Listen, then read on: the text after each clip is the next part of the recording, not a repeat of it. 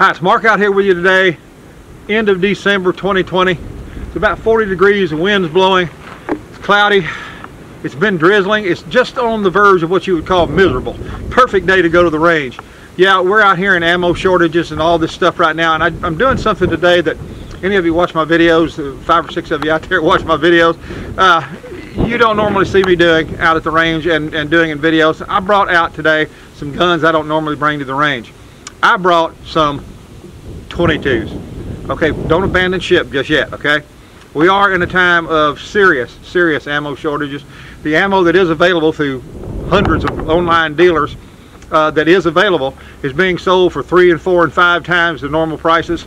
Uh, what a lot of people have though, what a lot of people have going into all this was they had stashes of 22s in their closets, in bags, under beds, in in, in hutches, in cabinets out in the garage. 22 ammo lying around or in boxes and stuff they've stuffed away and haven't shot in a long time. If you got some that's 30 years old, it'll still shoot. Let me show you a couple of the guns I brought out here today. Hold on just one second. One of the guns that I brought out, and let me make sure my camera's focusing on it right here. That is a that is a Ruger Mark 1. For those of you that are enthusiasts of Ruger and of the Mark of the Mark series in general, I think they're up to Mark 4 now, or maybe Mark 5 by now. But uh, long, long, long history of these guns right here. This model, Mark 1, is the first in that line of Mark pistols from Ruger that's become so popular as uh, plinking guns, recreational guns, competition guns, and even hunting guns. Uh, this is one that uh, came from an inheritance from a family member. Uh, don't have any history on the gun as far as how it was used, except that it was in real bad shape when I got it. Uh, you can see the barrel here.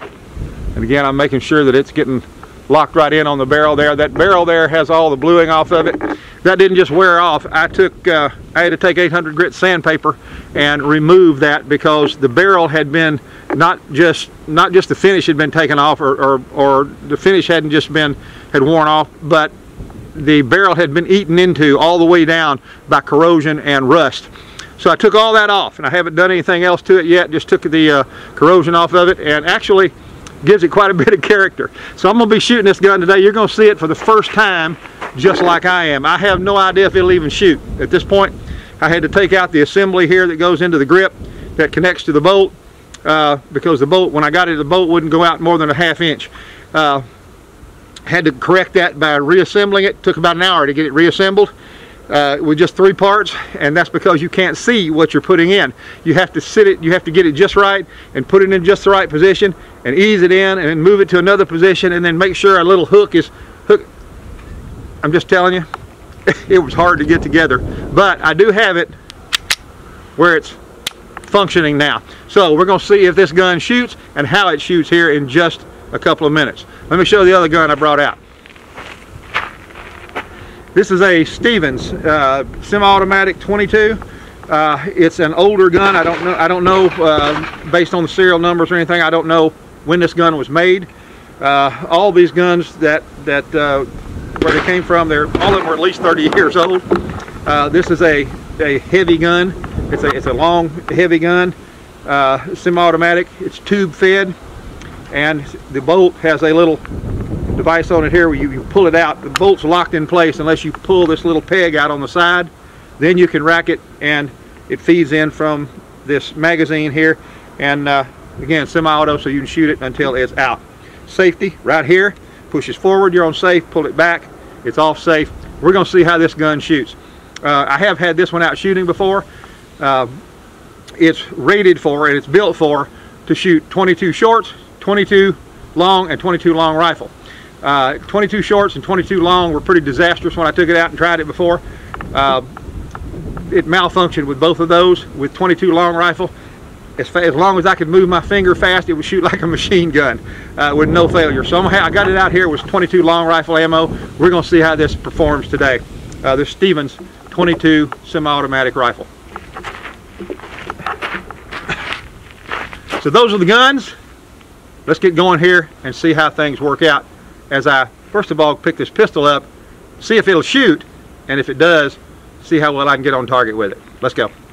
I was going to come out here with a and put it on a bench rest and everything and bring a bag and stuff with me, but considering what the weather's like, uh, I just minimize what I brought up with me. I'm gonna do it like I do any other gun, but with the pistol, I'm gonna get right up on the target, real close to it, shoot it up real close, and then back off gradually just to see uh, how I need to adjust. Uh, hopefully I do that with uh, not being able to feel my fingers. So we'll see what happens with the uh, Ruger Mark 1 22 pistol. So you know what you're looking at here. Here's a magazine. I think it's supposed to hold 10, but I was 9 was what I was able to squeeze into it. Uh, the bolt is right here and the it has some cocking wings on it right here. That's where you pull it out and cock it. Safety on the side.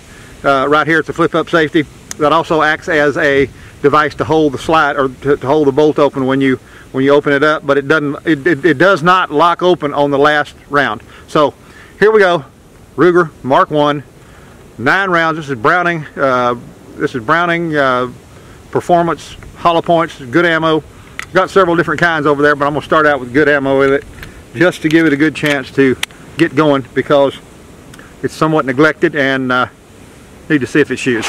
So here we go number one on the Mark 1 close to the target.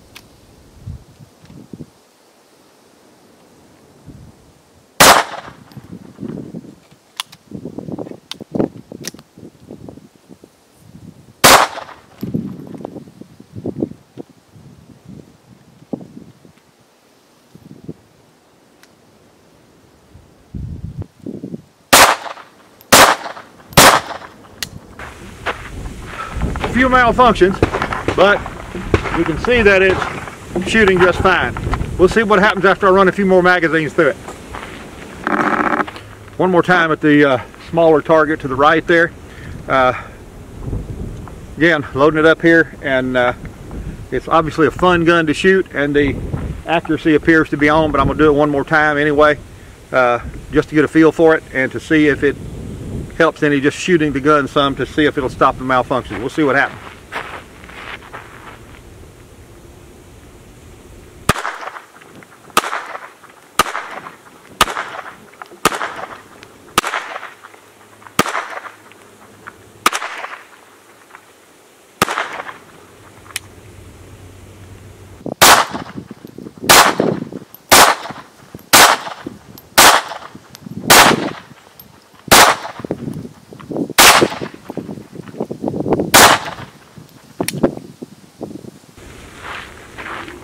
Zero malfunctions that time. Let's keep going. Now I'm back at about 25 feet. I'm gonna be shooting at the dirty, I'm gonna slow down a little bit and shoot at the dirty bird target. Hopefully it'll keep, hopefully, hopefully it will continue not malfunctioning. So we'll see what happens here.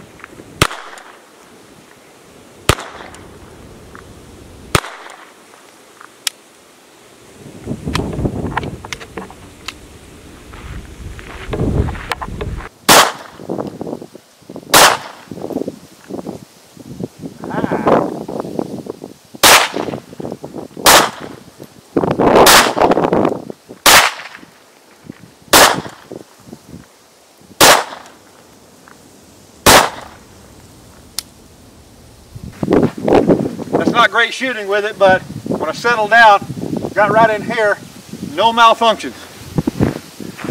And one more time on the Dirty Bird target.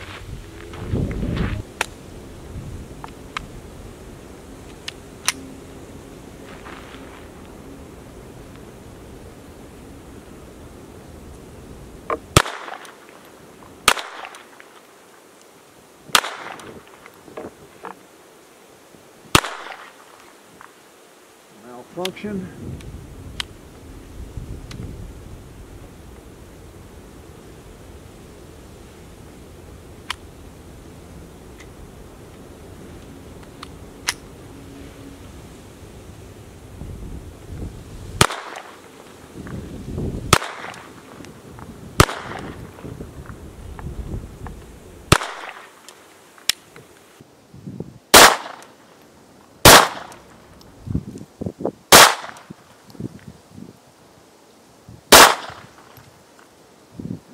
Malfunction.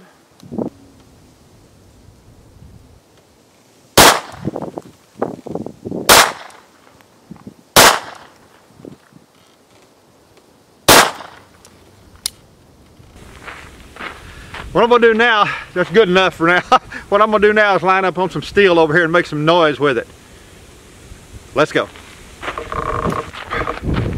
At this point, I'm just gonna clang that big piece of steel. It's time to have a little fun with it.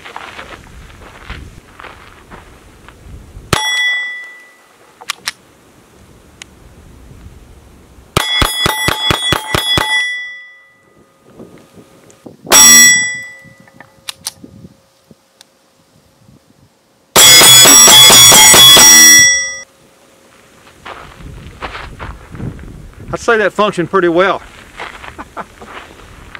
that was so much fun, I got to do it at least one more time.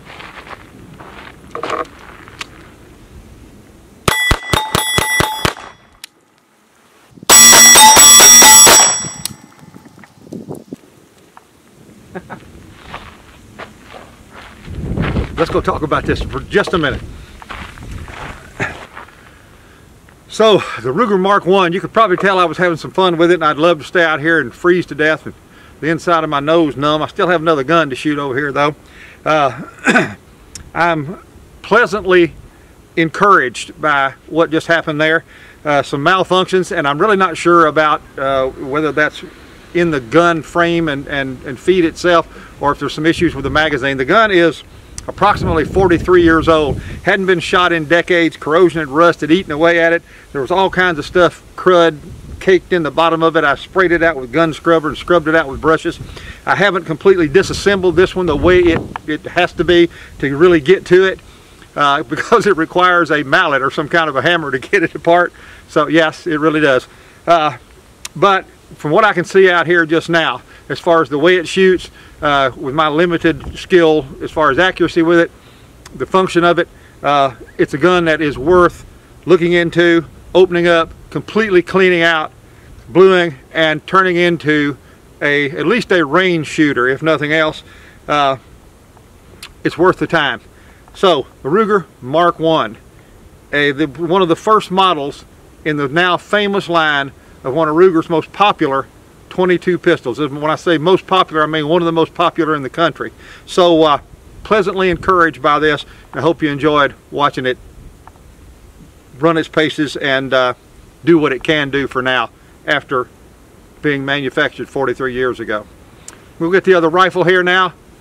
Shoot down range here. I'm gonna get over here and get, put it on a bag rest, and I'm gonna shoot at that center. I'm gonna shoot at that center steel target, and uh, just see how it it lines up and see how accurate I can be with that little yellow dot in the middle of that target down there. I'm not going to put in the time I did with this one because I've shot this one before and it, it isn't in the in the condition this one was, but uh, having a lot of fun with 22s out here today, and you can too. If you have a stash of 22, get on the range with it. Let's pull the rifle out now and see how it works. Hi, sorry for the interruption, and I, I, but I didn't spend much time on the range with the rifle. Uh, just shot it one time on camera there, uh, 10 rounds through it at a metal plate with a, a round circle on it 33 yards. Um, extraordinarily accurate, just these open sights here, but what I want to talk to you about this gun here is something that would be interesting to some of you that might be looking for something like this or may find something like this just to know it.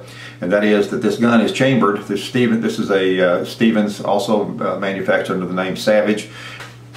This one has a serial number on it, so it was manufactured between 1968 and 1976. What's interesting about the gun is chambered in, it's chambered for 22 short, 22 long, or 22 long rifle. And stamped on the side of the barrel, there's a lot of stuff stamped on the side of this barrel. You have to get a flashlight and look at it just right to see it, but on the side of the barrel here, um, it tells you that it's chambered for all those, but it says 22 for it says uh, 22 long rifle for automatic only, uh, which means semi-automatic actually, um, because 22 short and 22 long do not have the power to really cycle this rifle. You'll have endless um, malfunctions if you try to use it on semi-auto with short or or 22 long. 22 long rifle, it will cycle like a machine gun as fast as you can pull it, uh, pull the trigger with your finger. The gun will fire with 22 long rifle. It does an excellent job. Even at this age, you you'll see it on the on the video here in just a minute. But what's interesting is the gun can be used either as a bolt action or semi-auto for 22 shorts or 22 longs, which not, not many people use anymore. But if you do use those, you can load them in the tube just like you do the 22 long rifle, and you can cycle the bolt and then push that bolt in. Pull the trigger, and when the gun fires it won't cycle because that bolt's locked and you can use it just like a bolt action with 22 shorts or 22 longs and if you just decide you don't want it in semi-auto on 22 long rifle same thing you can use it as a bolt action rifle instead of a semi-auto interesting point about this gun and uh, something that uh, is will be of interest to anybody that may find one of these in a, in a used gun shop or a gun show uh, over a million and a half of them were made, so they're not scarce. Um, and you do find them, and when you, when you find one, you'll find uh, an excellent shooter if you find it in good condition. And those features uh, are significant there. So I thought I would just stop and take the time to show you this uh, before I continued on and let you see the gun firing on the range since I didn't spend much time with it. So here's the gun shooting. I've got a makeshift uh, bench rest over here, which is my bag doubled up. I'm going to be shooting the rifle at the center steel target down there. The little yellow dot in the middle. I don't have a scope on it. I got the open sights. I'm at about 33 yards here. Uh, so all I can do is I can just see the yellow dot. So I'm going to be just putting in that general area and uh, not going to be shooting it slow or anything. Just firing steadily uh, to see how it does. Here we go.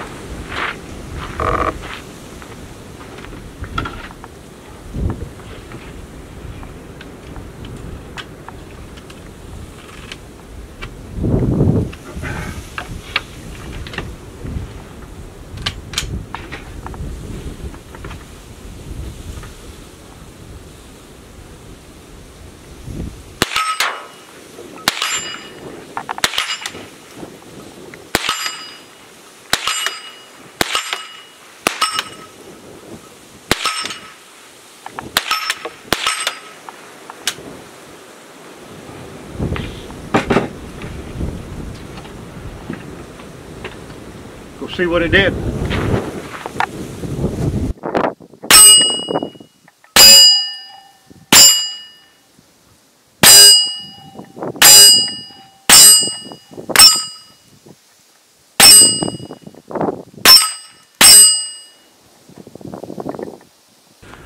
I'd pretty much take that rifle over any modern day rifle in any gun case right now, anytime. Uh, that's the second time, I, uh, the last time I shot that gun, uh, the last time I shot that gun was about, I don't know, four years ago, four, four and a half years ago. Took it out to a friend's uh, property and we shot it uh, several times, put several tubes through it.